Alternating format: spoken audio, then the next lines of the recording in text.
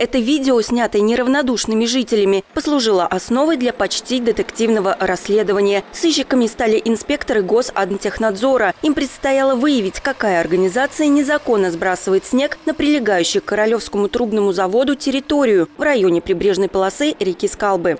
Мы смогли выявить собственника транспортных средств. Это этим оказалось юридическое лицо, расположенное в городе Москве, которое предоставляет технику вот, ну, на такие работы, как погрузка снега и вывоз.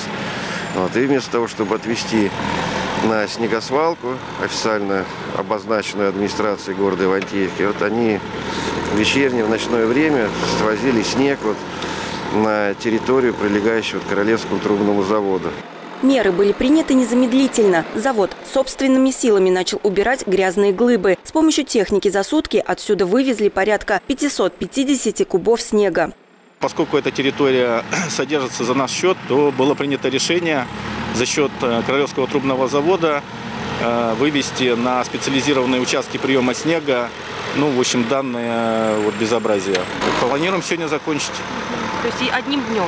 Одним днем, и вы видите, техника работает вообще без перерыва.